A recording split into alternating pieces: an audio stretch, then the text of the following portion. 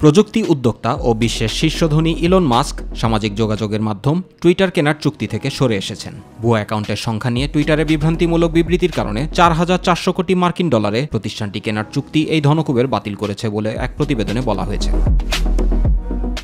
Elon মাস্কের আইনজীবী জানিয়েছেন, টুইটারের কাছে একাধিকবার ভুয়া বা স্প্যাম অ্যাকাউন্টের তথ্য চেয়ে কোনো সাড়া পাওয়া যায়নি। এ তথ্য দিতে তারা ব্যর্থ হয়েছে। অথচ এ স্বচ্ছতাই একটি প্রতিষ্ঠানের ব্যবসার মূল দিক। প্রতিবেদনে বলা হয়েছে, গত এপ্রিল মাসে টুইটার কেনার চুক্তি করেছিলেন ইলন মাস্ক, কিন্তু এখন তা বাতিল করায় ব্রেকআপ ফি সহ অন্যান্য ক্ষতিপূরণ বাবদ এক বিলিয়ন ডলার চেয়ে আদালতে যাবেন mask.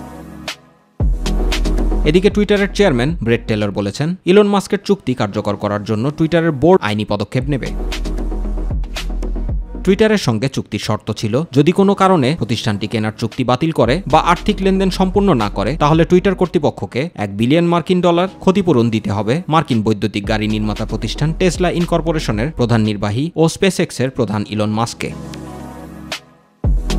Rahman, My TV news desk.